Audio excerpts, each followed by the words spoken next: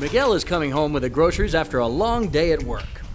Miguel, like most Americans, spends $35 per grocery visit, and most Americans make that trip about twice per week.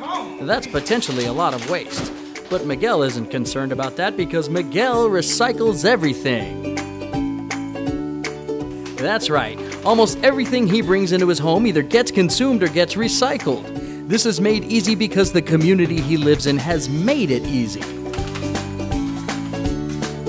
A recent Gallup poll says that 48% of Americans report drinking at least one soda per day. Did you know that 106,000 aluminum cans are recycled every minute? That's 152,640,000 cans per day. And that's a lot of waste. Miguel knows that cookie container ain't gonna wash itself. Containers soiled with food waste need to be cleaned prior to recycling.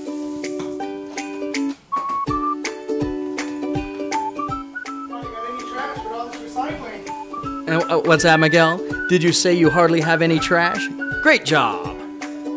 Bottled water takes 2,000 times more energy to produce than tap water. Not to mention that it takes 3 liters of water to create just 1 liter of bottled water. Milk jugs contain high density polyethylene, which will never decompose. Recycling this container keeps chemicals out of the environment while reducing the amount of new HDPE being produced.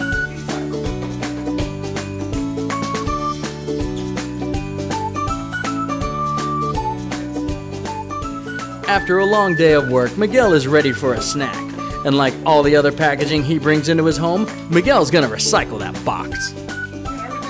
That's right, Miguel, you don't have any trash. Every ton of mixed paper recycled can save the energy equivalent of 165 gallons of gasoline.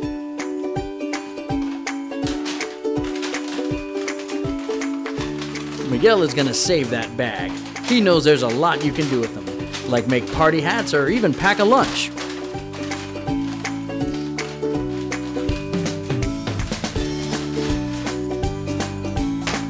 Right in line with Miguel's zero waste philosophy, he eats the last crumb of that tin of cookies his mom gave him for Christmas. Miguel, it's springtime! Americans consume over 2 billion cookies per year. That's 300 cookies per person, and Miguel's had his allotment for the day.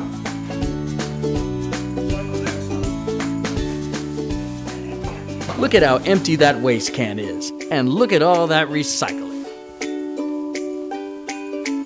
In 1980, Americans only recycled 14.5 million tons of waste.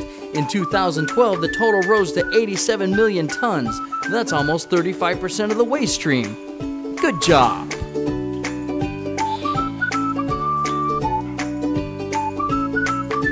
Every flight of stairs you walk, you'll burn an average of 15 calories.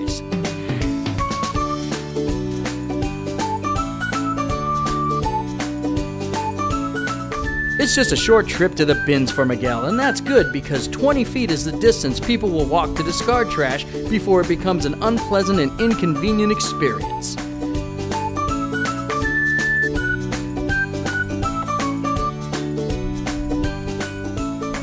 Miguel is able to recycle everything because his community has made it easy to recycle everything. Through a commingled recycling program, educational materials showing him what not to recycle, and convenient and accessible bin locations throughout the property, we ensure a high participation rate.